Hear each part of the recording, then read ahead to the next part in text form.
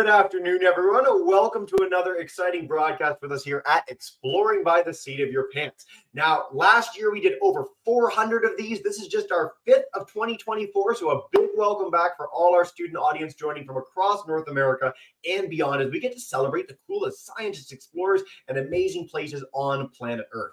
Now, today, for our zoo audience specifically, we are back in as the digital education partner of your Toronto Zoo. Uh, I'm so excited to be back with them featuring another amazing story. We've got monthly programs set up with them for the rest of the school year. So, stay tuned for those on the YouTube channel, Facebook channel, and more. Uh, back in November, December, we did some really special ones. Those are on our YouTube channel. So, do check them out there. They're also on the Toronto Zoo YouTube channel for our audience there as well. Now, without further ado, I want to bring in Mary Ellen Fraser. She is my favorite educator in the world. You're in for such a treat today. And today we're going to learn about biofacts. When I used to go to the zoo as a boy, I always loved seeing all the animals. That, of course, my favorite thing, but they have so many fossils and bones and furs and teeth and things that help you understand animals in a more deep and meaningful way. And today we're going to explore a few of those together. So some really cool stuff Mary Ellen's gotten to go. I'm really excited for all your questions on anything about animals you ever wanted to know at the end of this broadcast. But without further ado, I'm going to turn you over to Mary Ellen to blow your minds. Welcome in, everybody. And thank you so much, Mary Ellen, for joining us again. Hello. hello, hello. Thank you and happy new year, everyone. I am so excited to be back. I absolutely love doing these videos here with Jesse. As he mentioned, we've done a lot in the past couple years. We have a whole roster coming up for the rest of the school year and even into the next school year as well. And we're just so excited to be doing these. And I just absolutely love being able to share the zoo with everyone who tunes in. Before we get started though, I'm gonna have Jesse bring up our land acknowledgement here for us, and then we'll jump into today's program.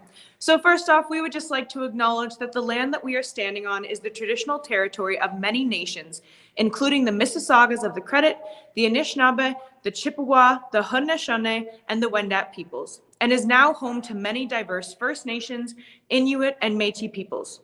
We also acknowledge that Toronto is covered by Treaty 13 with the Mississauga of the Credit and the Williams Treaty, signed with multiple Mississauga and Chippewa bands. Thank you so much, Jesse. So we're going to get into today, to, to today's program. Sorry about that there. And it's a bit of an interesting one. So usually what we do with our videos is I'm out on site looking at live animals that we have and educating about them. But as you might know, if you've watched some of our videos, and Jesse can definitely attest to this, is sometimes the live animals, they do what they want to do. And we don't always have the best shot of them or the best view. Sometimes they turn away from us just as we're talking about them and they want to go have a nap, they want to go eat, or maybe they just don't want to be with us anymore. And that's totally okay. But it can make educating a little bit more challenging. But we have something here in the learning and engagement section of our zoo or our department called biofacts. Now, I've actually done a video on a few of these in the past as well, and we guess what different ones are. But we're going to go a little bit more in depth to them today and see the actual scope of how we use them, how they can help us learn about animals, educate about them. And then we also do have a special live animal treat at the end for our Q&A segment. Now, anybody watching right now, I urge you to stay close to your keyboard. I like to ask a lot of questions. It's one of our favorite things here. So everyone stay ready to type in your answers on any of the chats on Facebook, on YouTube, um, or our live classes as well to text into Jesse and let him know your answer. We love the interaction and getting to work together. Now I've got a few tables set up behind me here. We can kind of see one. I'm gonna try and hide it with my body here so it's not given away too early yet. Um, but what is a biofact? So it's a biological artifact. So something that we're able to take from an animal after they've passed away or something we can take for them while they're living and it doesn't bother them. They don't need it anymore. And then we can use it for educational purposes. Now, what I will be showing today, some of it is uh, real, which means it came from a real animal, but some of it is also replicas. And we're going to talk about why those are important and really useful as well. Now, everything that I have here with me, if it came from a real animal, that animal was not harmed in getting this item. We did not kill the animal or put them down to get this item. The item was collected after the animal had already passed away. And we can talk a little bit about what that means and why we take these items for the educational region, reasons. And most of what I'm showing here today as well, you're not allowed to own as an individual person. But here at the Toronto Zoo, we're allowed to have them for educational reasons. So we're going to kind of get a little bit more into them here. Now, sometimes can be a little bit harder uh, to use them. So I'm going to hold up just kind of an example here. This is actually part of a giraffe that we have here. And you're going to see that some of our biofacts are actually in better or in worse condition than some of our other ones. So this is part of their mane. So you can see the mane right up here, but we can also see there's some bald patches on them. And that's why we just have to be really gentle and really careful with our biofacts. So I encourage you, if you ever come to the zoo or any other facility like ours and they have these out and about, by all means, go up and learn from them. They're a great educational tool, but I urge everyone to be very careful when using them because they are very precious and they are very delicate as well. All right. So first, we'll kind of ask a question to the group here. Has anyone seen any biofacts at a zoo before? We'll get some yeses and nos going in the group chat. Jesse's got his hand up here. Seen a couple. What do we think? If anyone wants to yell out yes to, I can put I can bring in the classes for a quick sec. Westview, Mr. Ross, Mr. Shepard. Yes? Maybe? No? Some people a little bit. Okay.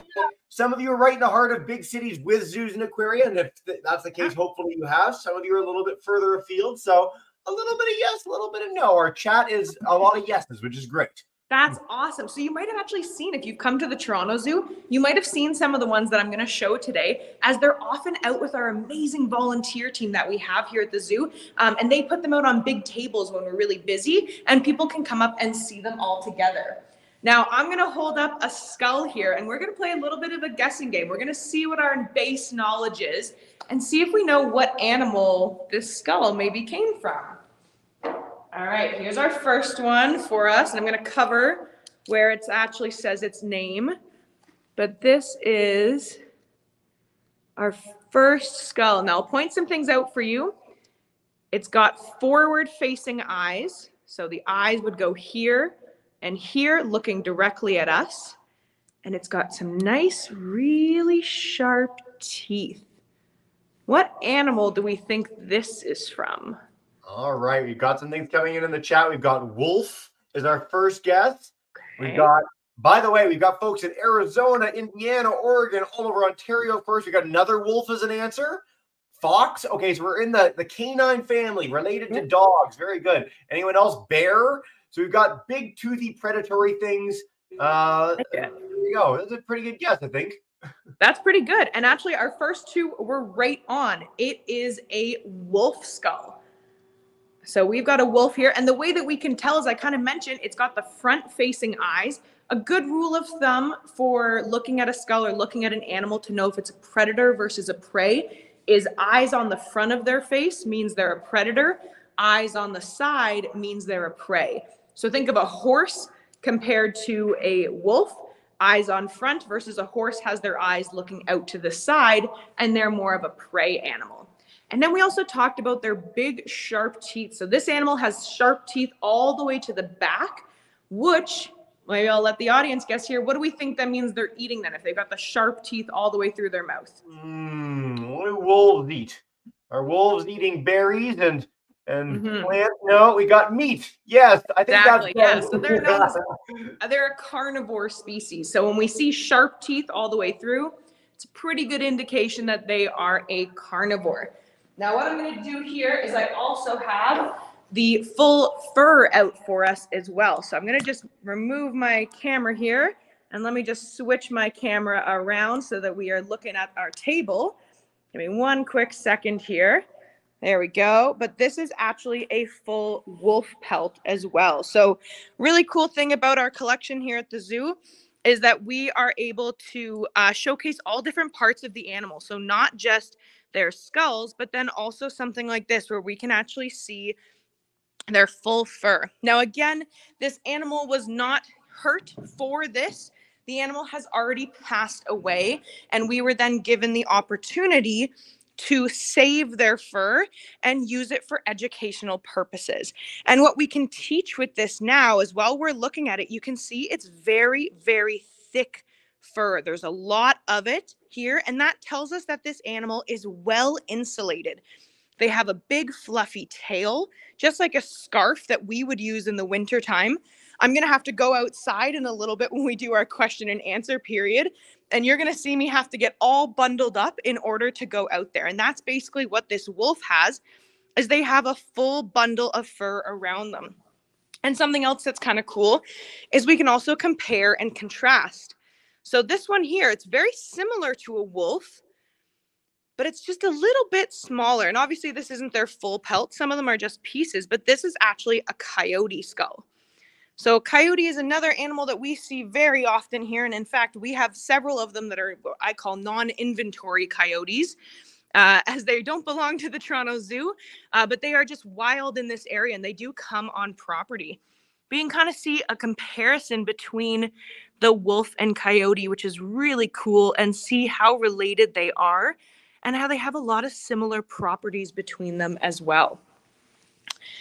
All right, I'm going to turn my camera back around here for me. Give me one quick second, and we'll go with our next biofact. All right, I'm going to add you back onto our little stand here. I apologize in advance. Today's videos might be a little bit more bumpy for all of our friends. Um, so I'm going to try and make it as smooth as possible for us today. Like turbulence. I feel like yeah, I'm, we're going yeah. on a ride today.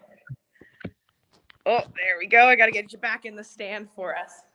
All right, now I've used one of these in the past before. Um, and last time we did a video together in December, Jesse, we talked about the animal enrichment giving tree, which I will say the animals got lots of amazing Christmas presents this year. And if you follow us on social media, you're going to see those be rolled out as we're able to purchase them from all of our donations that we got over the winter break. Uh, so be or check us out on Instagram and Facebook, all those places that we are posting on to see what new toys our animals got this year. And something that some of our animals really love is a big jolly ball like this. This one was well loved, as you can see all these fun marks on it. And unfortunately, once they do break open like this, we do have to call it quits and replace it. This becomes dangerous for the animal, and it can even be dangerous for us. We do sometimes have to file the edges so that we can have it afterwards to make sure that um, it's safe for us to handle as well.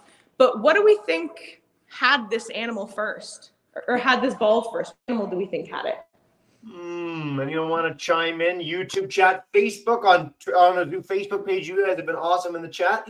Uh, anything you want to guess? Streamyard classes, please do chime in. All right, our first guess is our polar bear, bear, lion, some big toothy carnivore again. Uh, I have no idea, by the way, going into this. Just so you know, as an audience, like I was not prompted in this. I'm Nope. gonna, you know what? I'm gonna say it's a herbivore. I'm gonna mess things up. We got wolf coming in.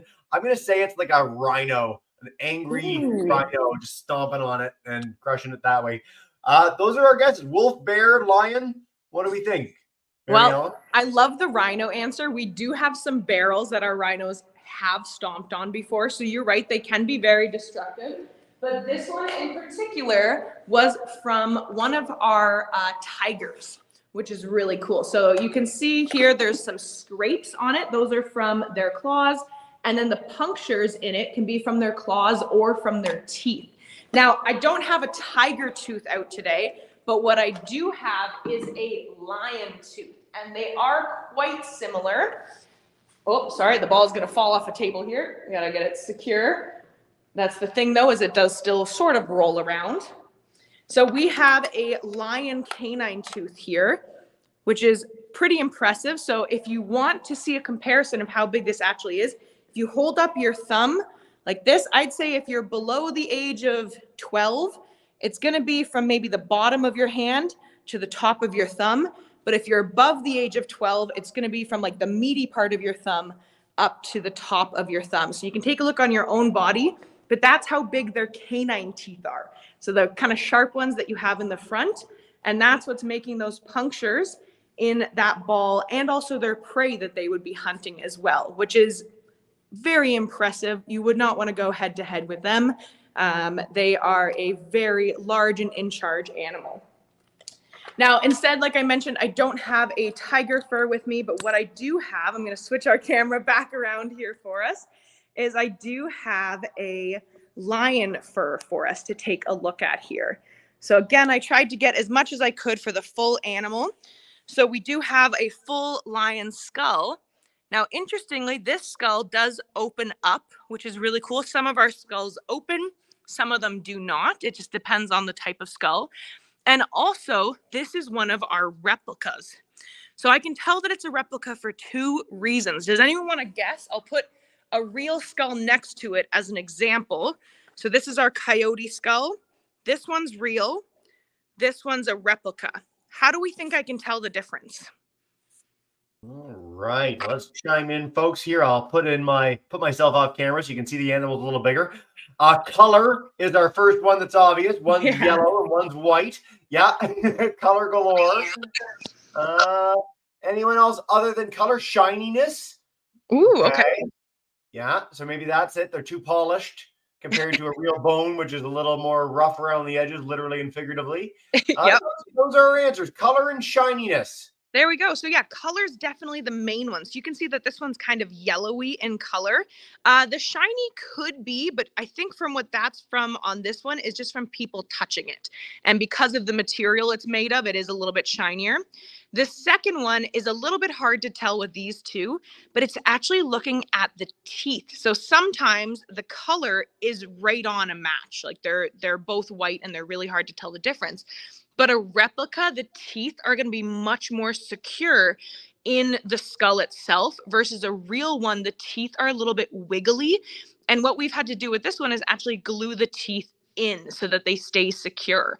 So the teeth will eventually kind of get wiggly, just like our teeth do. You know, if we are getting new teeth in when we're younger, uh, they'll get a little wiggly and they'll start to fall out. But so what we have here is we have a replica lion skull. So again, you can see the size of those canine teeth. So there's my thumb. And then the tooth goes a little ways up into here as well. So to give you an idea of how big that tooth is there, absolutely massive. And that's what punctures through that ball. We can also see that they have their eyes facing forward at us. So we know that they are a uh, predator species. And if we look into their nose, you can see the intricacies of their nose here as well. That's what gives them the ability to have such a good sense of smell. Now, we're really lucky here as well this fur that we have actually uh, was from a lion who used to live here at the Toronto Zoo. And that's typically how we get most of our furs. And this one is in really, really good shape. So we're really lucky to have it. And we do keep it in that shape by being careful when we pet it and we touch it to learn about it. And we have to be really careful the way that we put our paws and our tail on the table as well. So we make sure that nothing is hanging down over the edge and everything is kind of kept up nicely and folded here. And we only pet in the direction that the fur is going. So from head to tail. Now, sometimes we do have furs that don't have an animal name on them. So they've come from somewhere else but often, what that is, is somebody has found one, maybe in their aunt or uncle, grandparents' attic, usually, or somewhere in their house, and they're not sure what to do with it. So they actually donate it, us at the zoo, and we're able to use it for education purposes. Now, a question we get all the time, I'm going to turn my camera back around here and put you guys back up on our stand. There we go. Is how do I know kind of which one is which and how do I know which fur is which animal and where we got it from. Now, kind of a cool thing that not everyone gets to see, everyone sees the biofacts themselves, but what I really like to show off is all the different jobs that you can have working at a place like the Toronto Zoo. And one of those jobs, believe it or not, is actually somebody who curates and collects and takes care of our biofact collection and our interpretive volunteer stations. And what we do here at the zoo is we have these really fancy branded bags and we have our animals listed on all of them here. So I have a big pile of them over here and we can actually see for our white lion one, it's a much bigger bag because it's a much bigger fur. So we got a big one here and on our white lion tag, we can actually see who the lion was and what their name was. Now this lion passed away before my time here at the zoo, so I don't know her as well, Um, but we do know that she lived here at the zoo, which is kind of just a cool thing to think about. And even though she's not with us anymore, she's still helping us to educate about these amazing animals and teaching all everyone who comes and visits the zoo about them, which is a really cool thing to think about that they have that purpose as well after they've passed away, which is awesome. All right, I've got a few more set up here. So we're gonna go on another little mission here and we're gonna turn our camera around one more time and we'll look at a few more things on the table. All right, let me grab the camera here. So I've got another partial fur here, not a full one. But this one, what do we think this animal is from? Ooh. This is the skull. This is a piece of its fur, and this is something it likes to do in the wild.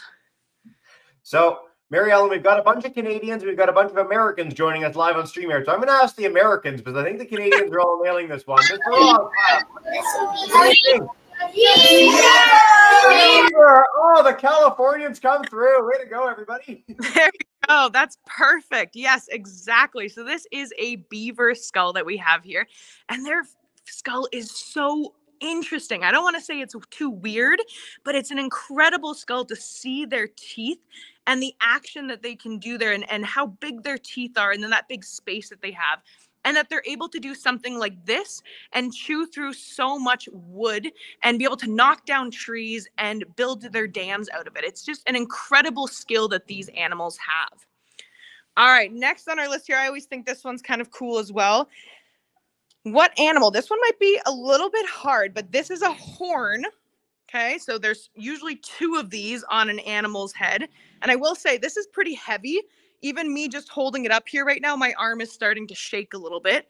What do we think? What animal do we think has this on their head? And this is what their fur looks like. Ooh, all right. We had Bayside Public School coming a little bit after, so welcome in Ms. Eibel's class. They say elephant. We've got our Westview School folks. I'm going to ask you guys in Alberta. I'll bring you in live. What do we think? What do you think? Buffalo. Buffalo. Buffalo. Okay. Very cool. We've got uh, Mr. Southward's class. If you got to unmute your mic, I'll bring you in really quick, but this is a tricky one. We're going to get lots of different answers. What do we think? And Cochrane. A doe. Gaz- We've got gazelle, we've got antelope, we've got bull, we've got elephant, we've got all sorts of things. It's exciting. All right. Whoever said antelope, you're on the closest track to it, I'd guess. Uh, this is from a greater kudu. So a very, very cool animal. They are like a uh, savanna or African uh, gazelle or antelope type animal. They're in that same family. Uh, but this is from a kudu. Now, importantly, this is a horn, not an antler. So horns are are uh, pieces that will grow with an animal their whole life, and an antler will fall off seasonally. All right, now a couple other things I wanted to show you here is you might notice I do have a full cheetah skull and pelt here, as well as a cheetah claw that we can take a look at. I have my kudu, I have my beaver, I have a lion, and I have a wolf. And you might say, well, Mary Ellen, that's a lot of mammals you got going on here. Really, on the table, we only see one reptile, which is our snake that we have here. Now, this is a few different things from a few different types of snakes. This is their full skin. We also have a snake shed. So this is collected uh, from different multiple different snakes and the they shed naturally so this doesn't hurt them. We're able to just collect it out out of their exhibit uh, whenever they do shed for growing purposes or when they need to refresh their scales. So that's easy to collect from them and we have a bunch of those. But really this is the only one that i have for anything that's not a mammal.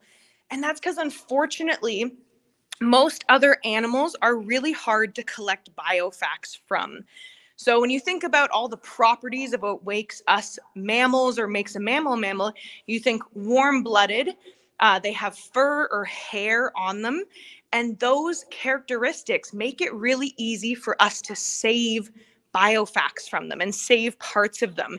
It's easier to treat them and preserve them.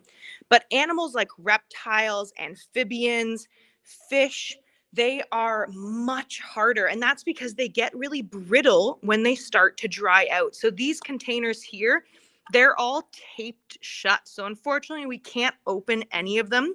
And that's because touching them on a regular basis would actually cause them to break apart much faster. For example, I have here a little starfish. But again, we have to be super careful because you'll notice on the end, it's already starting to break off. So it's really hard to keep uh, biofacts for animals who are more uh, wet than a mammal is on a typical basis. And so it makes it a little bit hard to have them in our collection. Another kind of interesting example for that is birds can sometimes be a little bit easier. So we have an ostrich eggshell here, which if I tap on it,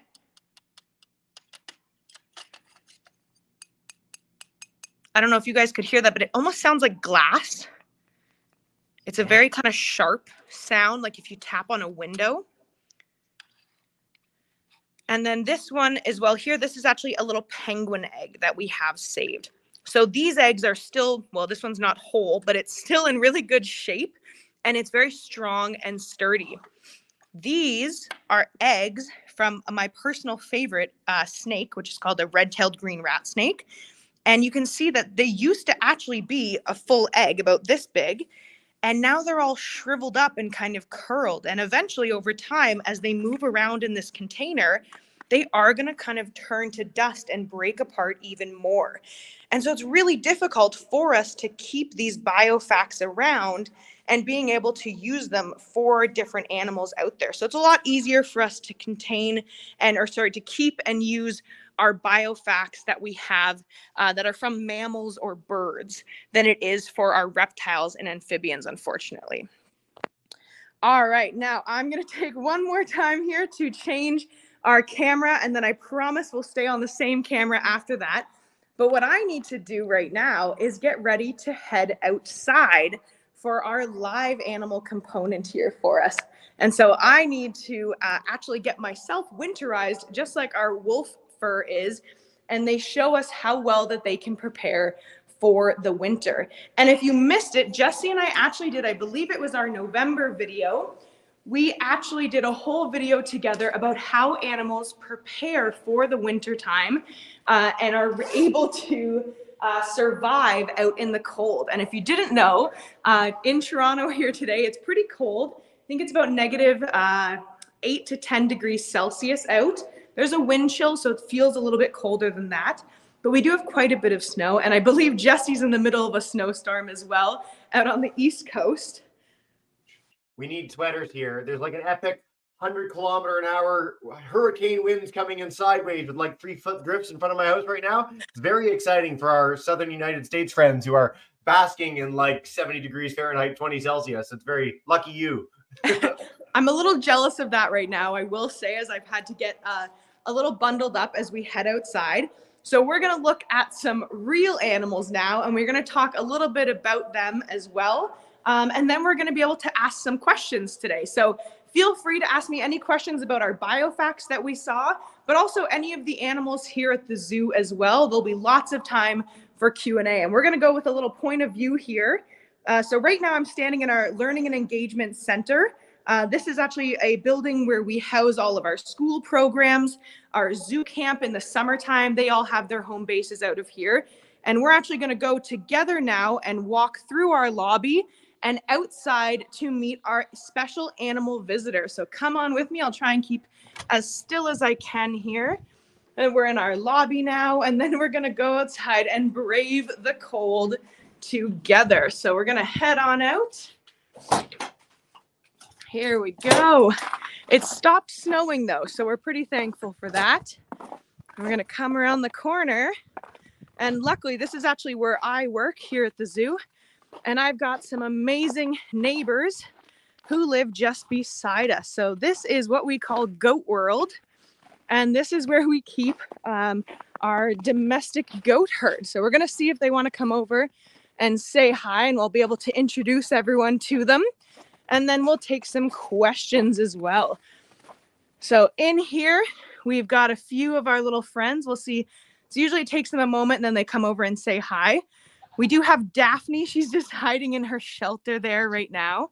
So don't worry. Everyone always gets worried that they're out here in the cold all the time. They're not. They have uh, shelters they can go into, and they're actually heated. So they have a nice, cozy place, warmer than I am right now for sure. Um, in front of us here, we have Easter Bunny, who's just at the top there. We also have Moonshine and Romeo. we have Niles, and we have Molly Bean as well. So we have a few different goats in here, and as they kind of come up, I can introduce you to them, and we can hopefully get a nice close-up view of them as well. But with that, Jesse, I'm going to pass it back to you so we can start our questions. Amazing. First of all, I can't believe that that's a goat. I thought that was so chunky it was had to be a pony. So there you go. Here's to that goats can actually get that big. Um, Mary Ellen, yeah, we're going to dive in with questions. YouTubers, Facebook crew, please do share in the chat. I'm going to take one from you immediately just to highlight for the rest of you shy folks that you can absolutely share questions there and I'll take them. And then I'm going to head to Miss Barajas' class in Oxnard in just a minute to kick us off. Live classes, I'm coming to absolutely all of you. But John wanted to know on Facebook, uh, is there something that you use specifically to help preserve the pelts? You got these beautiful, beautiful furs there. Is there a chemical? Is there something that you need to do to make sure that they're usable for so long? Oh, that's a great question. Yeah. So you're right. They are in really good shape. Um, and there is a lot of work that goes in kind of behind the scenes to get them into that shape. So if anyone is local in this area, or even if you do live further away, it's still an option for you. If you're interested in becoming a vet and you go to school at Guelph University, uh, they actually get a lot of our animals who have passed away and they help us with our uh, animal autopsies or, or necropsies on them. And they can also help us with the preserving. Now, some of our bigger animals who pass away, uh, it does take a little bit of a larger uh, job for it. And so the animal is, um, you know, that we we do keep the animal until we're ready to preserve them in that way. Um, and they're often sent off to people who uh, uh do it as their full time job. So it's often chemically preserved um, or like tanned, uh, just like if you um, have a like sheepskin blanket or something like that. Uh, it's a very similar process to that.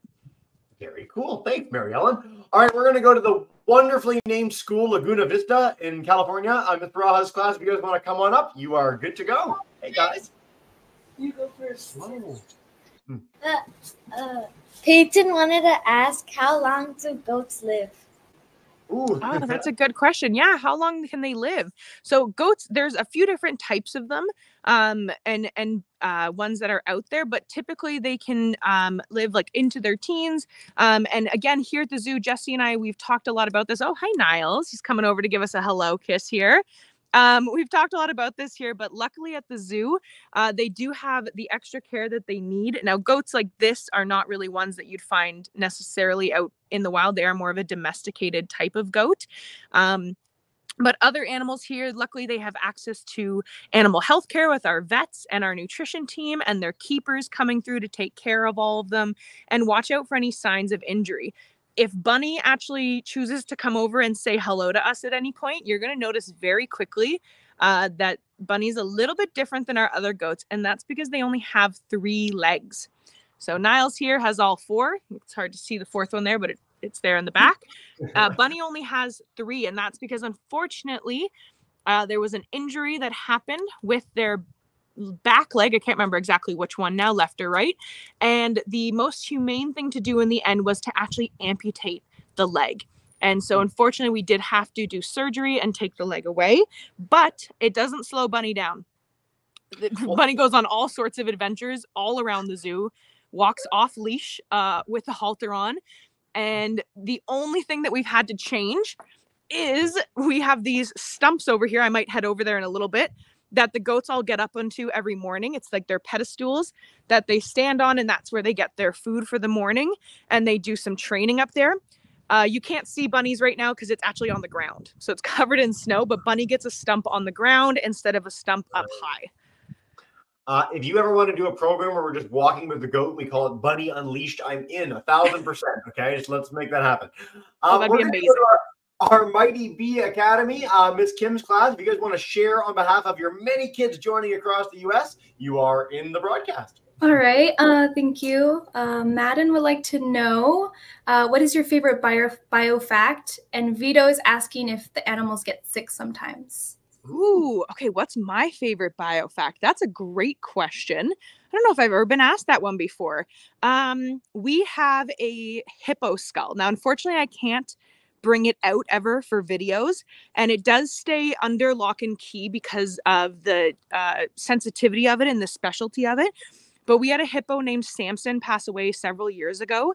And his skull, just his head, is, um, I would say, bigger than Niles' body. Uh, it's absolutely massive. It's almost too big that it's comical to do anything with it. So we have to be really careful with it. But that is the probably my favorite one that we have. Um, and does animals ever get sick? They definitely do. So it happens even uh, through all the care that we have here. Um, they can definitely get sick. We have Niles here who's coughing a little bit for us. I think he just ate some hay, and also he just got um, head butted by his little friend here as well. So he might be having a moment there where he got slightly winded.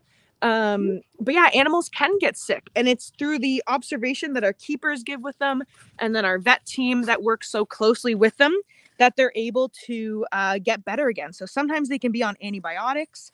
Um, I believe one of our goats even is on some arthritis medicine right now as well. Just in the colder months, they find a harder time kind of moving around, um, and that can sort of uh, get them to be a little bit slower. Yeah. Great answer, Mary Ellen. We've actually done a whole healthcare program with the Toronto Zoo in the past. If you want to check that out, it is on our YouTube channel. And while you were talking, I brought up a picture of a hippo skull so you can see how absolutely insane these things are. They're like, yeah, like ridiculous. Look at that thing. It's scarier than any dinosaur ever by a big margin. Hundred uh, percent. Great question, guys. All right, we're gonna head to our Westview School folks joining us in Alberta. Welcome in and take us away. Hello. How do um how do we learn how extinct animals behave? Oh, how do we learn how extinct animals behave? That's a fantastic question. So, I'm going to be honest, some of it is a little bit of a guessing game, but that's kind of what makes it all really interesting. So, I like to say here at the zoo that I know a lot about the animals that we have at the zoo. But if you ask me a question about an animal we don't have here, I can probably figure out the answer based on what I know they're related to. So if we find out about an extinct animal, the way that we'd find out would probably be from their skull, maybe. And then we can use those facts and kind of the what we call rules of thumb for looking at their skull to tell if they were a predator or a prey. So if we find a skull and we see eyes are on front and they have sharp teeth, we can probably make a good conclusion that that animal used to hunt other animals to survive. But if we find them and they have maybe uh, some flat back teeth, maybe they also like to eat hay or grasses. And maybe we find them near the water. So then we might think that that animal maybe like to be in the water or if we find them up at a mountain, maybe they were an animal who liked to climb and be uh, more in the uh, higher altitudes. So we can tell things from their body that gives us kind of behavioral elements of what they used to like to do.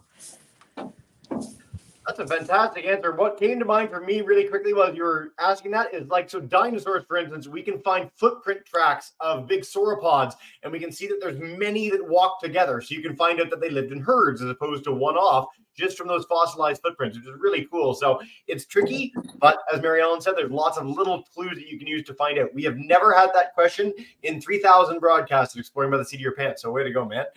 Um, Cochrane, Ontario, Mr. Tedford's class, come on in, and then we're going to do a whole other round. YouTubers, again, don't be shy. We'd love to take some from you as well, but come on in and Cochrane. Hey, four fives. All right, Andy has a question. Um, what kind of species was the egg that you, the penguin egg that you guys had?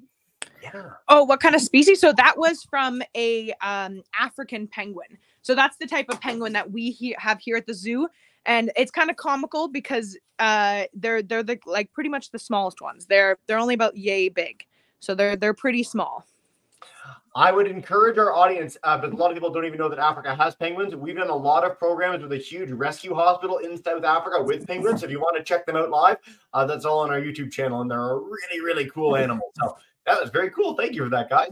All right, a quick one from YouTube, and then I'm going back to Miss Barajas. Uh, let's see, Miss Evans joining us in Oregon wants to know a favorite animal to study or share about. I know we talked about our hippo skull earlier, Ooh. but is there a favorite creature at the zoo you might have, Mary Ellen? There sure is. So we've also done a few videos on them here. I'm going to give this guy a little pat here for being such a good sport. He's got a big itch. That's what he was just doing also with that ball. You can tell that he is very itchy right now. So we're going to try and help him out. Um, I personally absolutely adore the camels, uh, specifically the Bactrian camels. I've done a few videos on them. I think they are one of the coolest animals out there. Now, we have domesticated Bactrian camels, um, and they're doing okay in the wild, but the uh, wild version, or so they're doing okay in the world, but the wild version of Bactrian camels are not doing so well, unfortunately. But the reason I like them so much is they're a species that can survive pretty much all weather. They can go negative 40 degrees to positive 40 degrees, and they have some incredible adaptations uh, that they're able to use to help them survive, which is amazing. So they're my personal favorite. And if you've ever seen our videos or been to the zoo, you might know we have one and her tongue is out from a previous injury she had when she was a baby. Uh, her name is Tilly, and she will forever be number one in my heart. We love the camels, and I'm glad we get that question almost every time with you as we get to talk about Tilly. By the way, this is the best goat scratching we've ever had on the broadcast in our history as well. Um, let's head back to Miss Barajas' class. Come on back in and take us away, guys. Hey. Um, how long have you worked there? Oh, good question. Yeah. So I've been here for nine years in total, but I've only been a full time employee since 2019. So when I first started here at the zoo, I was actually a zoo camp counselor. Um, and I have uh, worked my way from a zoo camp counselor to a full time coordinator here in our learning and engagement department. So it's a very cool journey, and I've, I've loved every moment of it. It's uh, always uh, beyond a pleasure to have you. So I'm glad we got that question. Thanks, guys. Um, Westview School, I'll bring you in next, Miss Kim. If you have another one, please do share, and I'll take our Bayside crew on YouTube as well in just a second. But Alberta, come on back in. Oh, not right now. We already have people. Um, how many types of predators are there in the world? Oh, Ooh, how many types are there in the world? Holy smokes. That's a big question. So I don't know if I have an answer off the top of my head for that, but I'll give you some facts and we can maybe estimate it together. let's do it. So not every animal could be or I guess technically in every way every animal is a predator because everyone's eating something. So these guys are eating hay, but they're still kind of eating it, you know? Um, but think of like lions, tigers, bears, oh my, all of those big ones, but not just the general name for them, but even in grizzly bear and bears, you have grizzly bear, polar bear, black bears. And then in tigers, you have Sumatrans, Amurs, all different types. There's white lions, uh, tawny lions. So there's all sorts of different subspecies within them as well. I don't know if I could put an actual number on the exact amount that we have in the world. Jesse, do you want to take a, a bet at it? You know what? It's funny because I had an answer in my head based on a fact, and then I'm looking it up as we're going, and it's radically different than my thought. so the jury's out on this. You stumped the experts here. I Mhm. will say that in, in any habitat, it tends to be that there's about 10% as many carnivores Yeah. because if everything was a carnivore, they'd eat each other all the time and it wouldn't really work out. So you need a lot of herbivores. Work, so there's like millions of wildebeest in East Africa, and there's a few lions and there's a few leopards and things that eat wildebeest, but there can't be a million of the predators. So there's fewer number, number of species is a harder thing. That's a very tricky question. I love that. Thank you so much. Um, Miss Kim, uh, I'm going to come to you, and then I'll take our group from uh, Miss Ivel's class, Bayside, in a second. Hey, welcome back. Yeah, Shaden would like to know uh, what snakes do you have at the zoo or any biofacts on snakes? And Addison would like to know how long can hippos live? Ooh, great question. Yeah. So the biofacts that we have for snakes, we do have quite a few snake sheds. So they're really easy for us to come across. And then um, we do have a couple like rattlesnake tails and a few full snake skins. So not as many biofacts from them. And we do have a couple of those eggs, but unfortunately they do get so shriveled up that we do have to um, dispose of them after a while. For snakes at the zoo, though, we have reticulated pythons, which are the longest type of snake in the world. We have the Massasauga. I think that's Jesse's favorite there. They're pretty cool, I will say. They are massive snakes. Um, you want you wouldn't want to maybe come across one in the wild. I, I could steer clear of them, but I do respect them as an animal. They're very cool. Um, we have Massasauga rattlesnakes, which is actually a snake that is uh, endangered here in uh, Ontario, and so it's our only rattlesnake uh, snake, and we're actually part of a breeding program, which is really cool for them. Uh, so we do breed them here, and they are released. which is amazing. And then we have my personal favorite, the red-tailed green rat snake, which if you have not ever heard of that snake, please look them up. I love it because their name is just so descriptive. It gives you every bit of information you need about that snake. What are they? They're a snake. What do they look like? Well, they're green with a red tail. What do they eat? Rats. Um, I think every animal should be named as coherently as they are. Um, but- accepted. right? It's just a fantastic way to name an animal. I love it. And they're a pretty snake too. They're very, very long um, and kind of a slender snake. They're really pretty though. Um, and then uh, we have uh, some emerald tree boas. We have all sorts of different types of snakes. And then I believe the second question was how long can a hippo uh, Yes. last? So they are able to live into uh, ours are Samson was in his 30s or 40s, I believe, when he passed away. 40 to 50 is what I brought up on Google very quickly as Yeah. we were talking about this as the life expectancy. So great question, guys. All right, we're going to do a rapid fire. Final two questions together because time flies and you're having fun, and we are nearing the end of the broadcast. Um, I'm going to take one for our Bayside crew, grade threes. Uh, Braden wants to know how do you get all the animals at the zoo? Are they bred there? Are they rescued? What's the deal? And then we're Oh yeah, good question. I'm Mhm. also going to turn our camera back around here. Our goat friends have decided to go into their warm barn here for us. Um, but as I'm doing that, I can answer it here for us. So we get animals in a few different ways. You kind of touched on the two points. Uh, some of them are born here, which is really cool. Um, so they are able to be born here, and then we raise them up, and sometimes they go to other zoos as well. Oftentimes, though, we because we are accredited facility, we have different relationships with zoos all over the world who are also part of that accreditation and their own accreditations as well and we work together. Um, oh my goodness, just as I turned the camera on me, Easter bunnies decided to come. So let me turn ourselves back around here. Um, so they are part of what I call a dating service for animals. So in order to help all of our species that are endangered, we sometimes will move animals between different zoos uh, to match make them with another animal of their species so that they're able to have the next generation. So there's Bunny as well. You can see we got two front legs and one back leg. Fantastic. Hello, Bunny. Uh, Bunny Unleashed. We're going to make it happen some month. Um, let's head to Mr. Southard's class. Cochrane, to one more question to wrap us up. A big thank you to all of you. And stick around because we'll do a big thank you and goodbye in a minute. But Cochrane, you're up for the last question. Hi, guys. Do you have grizzly bears? Ooh. We do. We do have grizzly bears. So we have Shente. She's our only grizzly bear right now. And she's actually gone down for her winter sleep. So her exhibit's actually boarded up. You can't see her right now.